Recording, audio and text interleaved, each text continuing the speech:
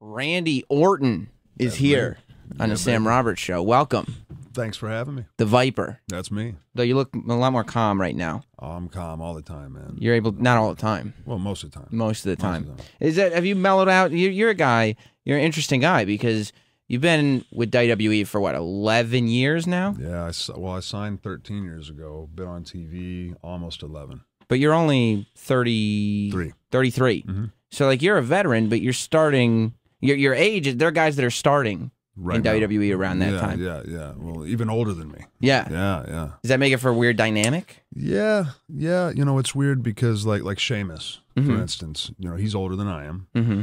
Uh, not by much, but uh, you know, he didn't start here. I think it's three or four years ago. And um, when you come in and you're 30 and you're a young guy, it's hard to call you a kid. You know, Yeah. Like I was always a young guy, and everyone, hey kid, hey kid. That's just kind of what, what what you call the young guys, you know. But it's you know, how do you call a 32 year old guy, hey kid, you know? But yeah, so it, it, it does make it a little weird back there. But to be a veteran and to be 33, that's that's weird too. I would imagine. Yeah. And you started. You had when you started, they were bringing in guys like you and Cena and Batista and a bunch of guys Sure, who weren't doing indies. right. Like these are you guys were not wrestlers before you started before you got signed. Mhm. Are there? Because I, was thinking before, when I was thinking about your career, I was thinking you must have gotten a lot of people upset because you didn't have to come up through the indies. But then I was like, well, all the main guys that came up about the same time as you didn't go through the indies. Yeah, well, you know, like in OVW, we would, you know, we, we, we paid our dues the best we could. Yeah. we would uh, we would run that territory where, you know, we were working, we, we were having shows in front of people, but you know, they, they were free shows or they were very cheap shows. You Mhm. know, or like our Sunday show might have you know ten people attend, but you're getting experience. You know what I'm saying? Yeah. And um, if you can work a crowd of ten people, you can work a crowd of ten thousand easy. You know what I mean? It's tougher to do a smaller crowd. Oh, much, Yeah. much, especially doing what we do. Because, like, for me, you know, the louder the people get. Like last night, I keep telling people about Hartford, Connecticut is a good a good example because they were just so energetic and so loud. When they're like that, you know, we can run faster, jump higher. You know, we're just, you know, we become more superhuman. I and you're not feeling anything. Mm, It's all right, adrenaline. Right, Yeah. right, exactly. So, in front of 10 people, even if they're all just into it 100%, you're not going to have that. You know what I mean? You Yeah. got to make that up. You got to find the emotion somewhere else. But when they're when they're screaming like they were last night, it's no thing for you know to flip it in gear and to go crazy, you know, and grab him, grab him, pull him out for a double DDT, ah, boom, and those people go crazy, and it's like, oh, you know, you just Yeah. you you know yeah, you know it's just fucking it's crazy you Yeah, know, it's yeah. crazy and you can just you, you feel it and they feel it and it's just this mutual energy that everyone's getting high off of at the same time That has to be a weird thing though, because you have to like you guys have these insane schedules where how many what four or five days a week you're working? And you're doing these but your matches are eight, ten minutes long. So mm-hmm. you got this ten minute window right where you're getting all this adrenaline out where this is when everything is happening. sure a lot, And then of, lot get- of preparation though. Like for me with the injuries i've sustained you know my day like if i'm doing a live event it starts at 7.30 on the weekend a live event you know it's not televised. So Mhm. it's a little less stressful of a show. I want to get there about an hour before the show starts. So i have up till 6.30 that day and you know i'm i I get get my rest and i get my my, my meals. I get to the gym then i get to the arena and i got to start like prehabbing and artificially stabilizing my shoulder by pumping up my rotator cuff muscles so it, it- won't dislocate. Does it scare you that you have to do that at 33? No, because I've seen guys like in our line of work, we are hurt. Yeah. We're, we're hurting. Don't think like, oh, wrestling's fake. Like, it's not exactly fake. Tell that to Edge, who can't do it anymore because his neck was to the point where he would paralyze himself if he took one wrong move, you know, one wrong turn. And he's a young guy too. Yeah, he's he's my you know maybe a little older than me, Right. maybe. Um, so you know it, it is very dangerous, but uh, no, it's just a necessary thing that I have to do to continue doing what I love and making good money. How so you were- were 22 ish when you first started? 20, 20 Yeah, when you first got signed? 19, 19 when I signed. Jesus. Yeah, it was uh, January of 2000. And then uh, I got called up to do dark matches when I was 21. I Uh-huh. did dark matches and uh, live events for probably six months. And then I started TV as a babyface. so those are the but- but when you're like 19 20 21 you feel invincible what was the first time that you got an injury that you went oh shit like this is Yeah. this is real there's an expiration date here Right, right. Well, yeah, my my my injuries happened quickly, like very quickly. Like after I was on TV for less than six months, I dislocated my right shoulder on Raw. Mhm. It's you know hanging from you know a thread, and and God, it hurt. But that adrenaline I was talking about, mixed with the uh, nervousness of being on TV, live TV for the third week in a row. You know, I had started on SmackDown, which is taped, moved to Raw, like two weeks in, bam, dislocated my shoulder. So I'm thinking two in weeks into head- raw yeah, yeah. Yeah. Well, well, I had I had been working on SmackDown for about four months. okay but you were still it was still in your first year of Oh, being God, on It television was in the first six months. wow Yeah, yeah. So I, I, I got, got this push. I'd got my start. Here we go, and then boom, four months. Then I came back, and uh, my first match back, I broke my foot and was out another four months. So I thought at this point, and, and when I'd come back before I broke my foot, we were going to start Evolution.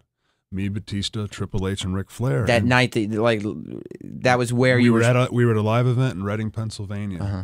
and uh, we were going to do those live events and kind of work. That was the first night I was going to hit the RKO. I was going to start using the RKO and call it the RKO. Didn't get to do that because I broke my foot, and Batista tore his tricep in the same match.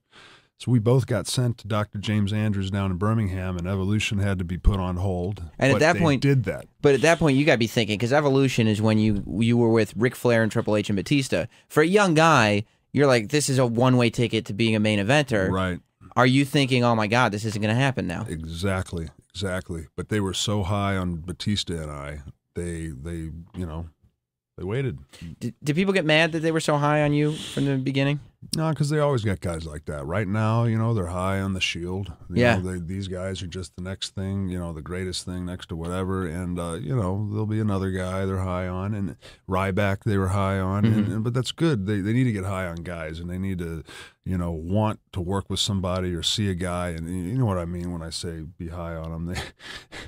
Uh, you know, they, they got to want to see this guy succeed and say, you know what, he could represent the company. He could be a world heavyweight champion, you know, and, Yeah. and, and give him that opportunity. So when you got to the World Championship, you were 24. Is that right? Mm-hmm. Does that kind of do you start to lose a little bit of passion somewhere around there? Because I would imagine that you get this goal right, and you you've made it to the WWE, you've now made it to the world title, Mhm. but you're 24 years old. Like, what do you? What do we strive to achieve for the next, you know, 20 years? Yeah, I see your point, but like at that point in my career, I'm not very confident in my abilities at this point. Nothing like I am now. So, did you not think you were ready for the title? Oh God, no. No. I was like, "Are you shitting me? You're Uh-huh. gonna give me the world heavyweight? I'm beating who at, Right. at SummerSlam? You know what I mean? Him of all people? I'm gonna holy crap! You know, like, uh, yeah, I shit my pants, Yeah. and I had the thing for a month before they took it off me. You know, I yeah, I wasn't ready, but um, still the youngest world heavyweight champion. So you, yeah, you just wanted the feather in your hand. You don't care Yeah, how long you can hold it for a night. right, it doesn't right, matter. Right, right. And you know, my my first title run definitely wasn't my most successful. Mm-hmm. But um, you know, you learn from your mistakes, and uh, that's what makes us good. The guys that rise, you know, the cream rises to the top, and and what makes them good is learning from your mistakes and not making the same ones. And those can be very little, tiny, minute mistakes that the fans don't even see, but we're trying to be as perfect as we can in that storytelling, you know, experience process. Or, uh, what's the weirdest thing that you've been called? Like, what's the weirdest thing that you've gone back to the locker room and somebody's yelled at you for and called it a mistake? That you're like, what? Nobody can even see this. Oh, oh, uh well, you'd be surprised. Like it's it's as bad as like you could have a great match. Yeah. You come back into what we call the gorilla position, and then you got a couple guys there who uh, you know, you you look to, you know, how was it? You know, but you know. I know at this point in my career if I had a match or not, if it was good or not. Right. But when someone says, "Yeah, you know, you need to keep your hands up more," you know, reality based, you Mhm. know, you need to keep it. And I'm thinking reality based. So he's shooting me into a set of ropes, and I'm bouncing back at him. Mm-hmm. And you want to talk to me about reality base? because I'm wearing my speedos? Like, come on, this Yeah. is entertainment. Uh-huh. Let's entertain. Yeah. Let's not get. This isn't the UFC. Mhm. This is. WWE. Yeah. If it, if it was UFC, we probably wouldn't be bouncing off any ropes whatsoever. No, no. Yeah. Like, if you, this you is tried to fling me into a turnbuckle, I'd Well, probably stop. Yeah, and but but like UFC, I you know I I, I watched a few of those. They, I, those guys are are hard. These Mhm. guys are hard, but those matches can be very boring. You know, at least like we have the liberty to. We're trying to tell the best possible story, and we're we're we have these characters, and and you know, like everyone will find the characters that they latch onto and they like or they dislike, and you know that keeps people wanting to tune in. Yeah, that's the thing about UFC because I've I've watched it off and on, and I was I've been I was raised on pro wrestling, Mm-hmm. so that's kind of where my mindset is at for everything. Right, right. But I'm watching it, and like like you say, you latch on to a UFC guy, and he's got all this hype behind him, but he loses in two seconds to somebody you've never heard of, and that's not where the story's supposed to go. Right, right. the know? good guy needs to win. Yeah. Or and if he doesn't, he needs to come back and then really kick that guy's ass. Right, give me a reason why he's not yeah, winning. but then he taps out again, and you're like, "Well, that was my guy." yeah, what Right? happened? Yeah, right, right, right. You know, I, I, I, I see what you're saying. And Yeah. I, I think our fans, you know, they like our product because they're entertained and they know they're going to be entertained. It's not. I might be entertained tonight. The main event might be good. I hope it goes more than a minute. You know, Right. Like last time. You know, you know, you're going to get a good, good show. So you're in 12 rounds two. You're the star of 12 rounds two, which is out now on DVD and Blu-ray. Yes. When you leave wrestling to film a movie like this, and this is what you, second movie, Second, uh, first one I starred in. Right. Uh, yeah, yeah. Yeah. But, you know, first movie really, you know, but I, I had a couple scenes in one before. yeah. So so when you get to now, you're at the point now in your career where you're kind of a lot more secure probably than when you were younger. You know there's there's a spot for you. Mhm. Is it nice to be able to leave and make a movie? Well, the funny thing is, I didn't leave. I um I would uh, on my weekend, which was Tuesday and Wednesday for everyone else, um I'd fly and go do SmackDown, and then I'd come back just in time because we were filming on the uh, West Coast up in Vancouver. So I'd have to go through, uh, you know, immigration, get to Buffalo, New York for SmackDown. By the time I got back after filming SmackDown, not only was I tired, time zone, but we filmed at night that entire movie. So I'm up all night. Yeah. So to be up all night shooting, then to get on a plane to fly across the country. So you're still you're st- you're still working a regular Yes, wrestler yes. schedule. I didn't take time off to, to, to do a movie. Yeah, I did both. I had a lighter wrestling schedule because I had to do the movie. But, Right. But but I made it back each week to stay current with whatever I had going on at TV at the time. Is it difficult? Obviously, you're used to the wrestling schedule and you understand it because you grew up with it. Your dad's a wrestler, your grandfather was a wrestler. Is it difficult for you to start your own family and to bring someone into this world to try to explain to them what to you has just been life forever? you know, um, with my wife, I see that a little bit. Like she, you know, like when I did the movie, like I was just saying, I was gone for eight weeks, and I, I was I was home three days in eight weeks, Mm-hmm. and that was because of the movie. Then when we were done, we went straight to Europe for three weeks. So it's like I was gone, and and and that's hard on her. My my daughter though, you know, she she'll be five, and I think she kind of she she thinks dad's pretty cool. And if she doesn't see that every day, that's okay. Because when I come home, like, you know, she has my undivided attention. Mhm. So I make it up, you know. And if I work the nine to five, I might see her for, for dinner each night and right before she goes to bed. But, you know, I do get a couple days here and there where I go home and I can spend all that time with her.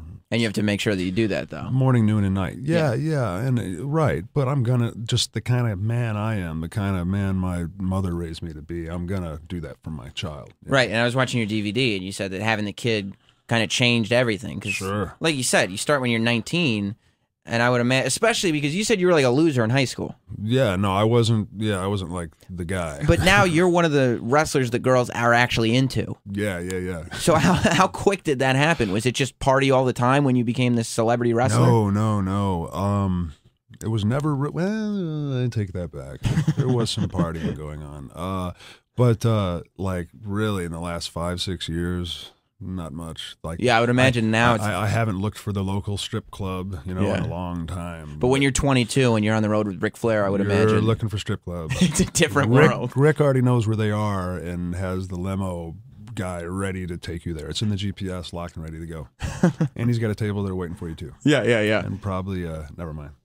Uh, I was also, yeah, he's got his favorites all picked out right. He knows. Exactly. He knows where to go. Yeah, yeah. Uh, a thing that I found interesting though, you were talking about on the DVD about uh, being this young guy and going to the next level, and people possibly being upset about it. And you said that one of the lessons you learned was to watch out for people taking liberties with you, literally in the ring, like somebody possibly trying to injure you Sure. Does that really happen? Do people? Um, I think back in my dad's age, Yeah. uh, era rather, in my grandpa's era, like my grandpa. That's why your dad had to wear that cast for so long. Exactly. right, right. They kept just breaking it. you know. Yeah. They just broke his arm every no.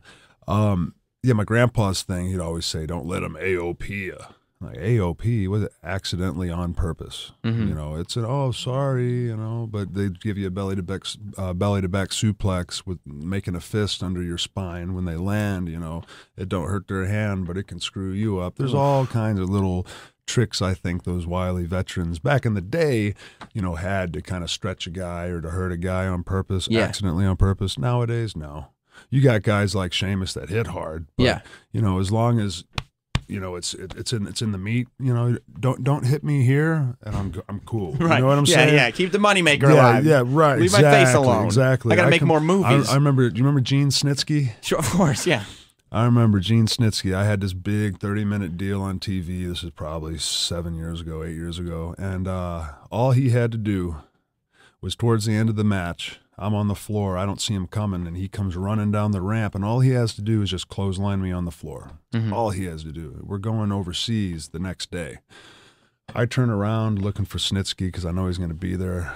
Right in the face. Boom. I come up, cut just my li- I got it looks like I have herpes for the next 2 weeks. And it's just like, you know, why? Yeah. You had one thing to fucking do. Uh-huh. Why? I You accidentally know? on purpose wanted to make you ugly. yeah, right, right. Exactly. Yeah, you know, like well, I had, you know, you make me ugly like Eugene. You know, it, it's actually funny. Snitsky's been gone for the company for a while, but I saw him. uh just uh, we were in Bethlehem, Pennsylvania, the other day, and I saw him. So, Gene, if you're listening, hello. How how close have you been to losing your job? Because like you said, the last few years, it seems like you've mellowed out. You've been cool. You've been like, and you've been kind of that established guy. But back, you know, there've been some. Yeah. You've talked about the dark days. There's been uh, definitely periods of time when Randy Orton had disappeared from television under mysterious circumstances. Sure. How close? And were you ever worried, like, oh my god, I just blew it? Every time. Yeah. every time because uh, I, I think I was just a little impulsive with my decision making, and I wouldn't really think how it was going to affect me or the others around me. You know, being a dad now, Mm-hmm. that was the biggest thing when I became a father. Is you know, I I can't do this stupid shit anymore because I got a kid. What am I gonna? What am I doing? You know what I mean? So it was pretty much just bam, stop then. You know, and I haven't had any problems. If But- for no other reason, then you're gonna have to explain to your kid, "Hey, Dad, remember how come you lost your job?" Well, Right, exactly. In the internet, you know, the internet's out there. Um, so who knows what archives are being held where of what? Of course. find out later. But um, you know, it's just it's just one of those things. It's life. It's life, man. You make mistakes, you pick yourself back up. But but yes, to answer your question, there was probably half a dozen times where I thought, well, This is it. This is it. but you're like one of those child stars that grows up in front of people and makes all their mistakes in their 20s. and Then Yeah. eventually they could Right. either become a legit Right. actor or they don't. Well, well, you know, like uh, Triple H would always tell me, like, you know, you're your own worst enemy because you know everyone there, everyone at the company wanted to see me succeed. You know, fight Flair and Triple H of all people in my corner, And I would imagine it would drive people insane that you, they would give you another chance and another chance and, and another that's chance. and that's what happened. And I can't tell you how many times you know I had to be pulled aside and I had to have a one-on-one with Vince. Sometimes Vince and Stephanie, sometimes Vince and Stephanie and John Laurinaitis, and it was just you know, what are you doing? You know, you can't. that was that. a that was a question that I, they must have just looked at you. What the fuck are you doing? Yeah, yeah, We're right. giving you it. We're you giving it to you. talk to people like that, you Yeah. know. But I think I just had some entitlement issues, and so you know, I thought I deserved this, maybe, or like if there's a long line at the airport, well, I can go in front of everybody, give you a hundred dollars, and you'll check me in because that's how it works. And you, know get what I mean? if they don't. Yeah, right, right. well, you, well, my money's no good. Well, Yeah. no, sir, I can't take your money, or I'll get fired. Like, well, fuck you, then. You know what I mean? And then, oh, I'm in trouble because I've done something completely stupid Right, right, you right. know and and so enough of that happened and I, I you know man they gave me a couple chances that's you know to say the least But it's got to feel good to know that you spent some time as a douchebag and you Yeah. got the doucheness out. yeah no you know what And you I can was, recognize it and I was a douchebag and you know what it's funny um people that I haven't seen for a while uh like Trish Stratus hmm I saw her at the Hall of Fame and she looked beautiful. Man, she like she's the natural brunette thing works for her. I man. I agree, don't like man. her as a blonde, as a brunette, gorgeous. Yeah. Anyway, she mentioned to me, you know, and, and like others that haven't seen me in a while, that you know, like, wow, you've really you've become into a mature adult. This is amazing. And then they all it all always goes back to being a dad, having a great wife and a good family, and realizing that responsibility that comes with it. Well, that's one of the reasons that made your that your DVD was so great because every WWE DVD, John Cena is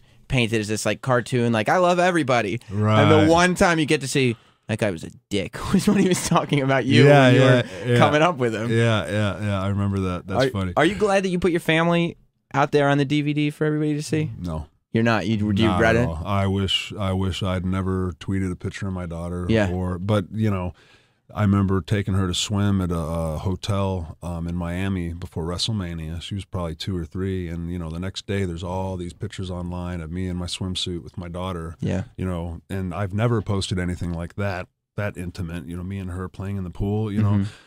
Maybe a cute picture where I'm holding her and making a funny face, and she's got sunglasses on where you can't really see. Yeah. You know what I mean? Yeah. But like, so you know, it's going to be out there. But putting them on the DVD was like, here's my family, and then letting my wife do the interview where she cried. Yeah. that she got some flack for that from these people on on the internet that That's give, what I was thinking. give our wives a hard time, and Yeah. that, that that's hard for her. That's hard on her. So Yeah. you, know, you know, I wish I wish I didn't do that. Because like our the radio fans are just animals, Right. and so I avoid at all costs putting any photos of my wife on, on the internet. I mean, they're findable, course. I guess. Oh yeah. But that's the, the the weirdos that I guess are upset. Like when you do, for instance, when you do a, a Google search for Sam Roberts, Mhm. and it, you know you let it auto complete, Yeah. all the first things are Sam Roberts' wife, Sam Roberts' girlfriend, Sam Roberts' Jess, Sam Roberts' wedding, Sam. Yeah, and it's yeah, just like, come yeah, on. Yeah, yeah. Oh, all the, blogs on whether or not this really happened or fantasy stories. You have any of that? No. Oh my god. What kind of fantasy I don't stories? even want to talk about People it. are writing fan fictions about your personal fan, life. fan fiction. Um, well, me and other wrestlers. Oh, it's it's Oh, it gets bad. Yeah. Well, there's all these sites, man, and people will come up to me like, uh, you know, I, you know, check out this site. This is funny. Blah blah blah, and I'll go to it, and I'll. Oh my god! Who I do they Who do they have you paired up with? Oh, Cody Rhodes. Oh, Oh, it's always me and Cody. Oh yeah. Oh yeah. There's a setting. Oh, We're spotting each other in the gym, and you know the sweat drips down my cheek and hits my pec. Uh-huh. You know, and then drips onto his stomach. You know, it's just horrible. You know, and it's just too too much. But does it make uh, you think that you should get tights that are bigger, like something that's not so skimpy? I Yeah, to- right. I, I I think I've I've uh, I, I I made that mistake a long time ago. It'd be hard to start wearing anything else now. yeah. I have a feeling into my 40s I will be wearing those speedos. See if you can get a pair of jean shorts from John Cena or something. I just was just saying, up. I, don't know if it was here or earlier, it's they're all running together, but in an interview earlier, I thought, you know what, it would have been nice if I would have been the one to come up with the jorts, the, Yeah. jean shorts, you know, because that, yeah, that, that hides it all. You Yeah. know, you can just kind of chill, not not worry Right, right, right. adjusting yourself or physically exposing yourself. to- yeah, or like like you already went to the ring at this point and you need to adjust yourself, but you know you can't because you're on live television. so you try to like, you know, you're like, how can I not get an angle where any of the twelve thousand people in this arena can see me reaching into my pants right now? But when you're starting, I would imagine that you're like, oh yeah, I'll get this outfit and chicks will like it. And I, and then, but then you realize that there are dudes that are writing fan fictions and yeah, weirdness. yeah, a lot of dudes like it too. And hey, whatever, that's cool. You know, as long as they buy the T-shirt, right? Yeah, yeah. Buy the movie, buy the T-shirt, come get a ticket. You, you know, it doesn't matter. Right, right. And Twelve rounds two. Again, Yes, DVD and Blu-ray right that's now. right. It's, Out uh, today. It's got to be exciting for you to be on the cover of a Blu-ray that's a film. It's a movie. Yeah, no, starring in a, a film. I never, never thought that would happen for me. How invested are you in your storylines now? Do you still like? Do you get upset if something doesn't happen? Do you say no? This is how we got to do it. This is how we got to do it. Or have you more like? Well, we, we, the talent, don't have the power to say this is what we need to do. This is what we need to do. You know, there's a creative process, but a like creative I've team. I've spoken to Punk, sure. and he's getting upset about creative all the time. Oh, sure, sure, You know sure. what I mean? But Like- Punk likes to be upset about shit. he does. Oh yeah, that's his thing is to always kind of have a chip on his shoulder. Um, and like it's funny because I feel like I was the original guy that always had the chip on his shoulder, but like mine, I think my demons were a little more deeper than his. Right. Guy's never had a drink of alcohol. How how effed up can he really be? You know what I'm saying?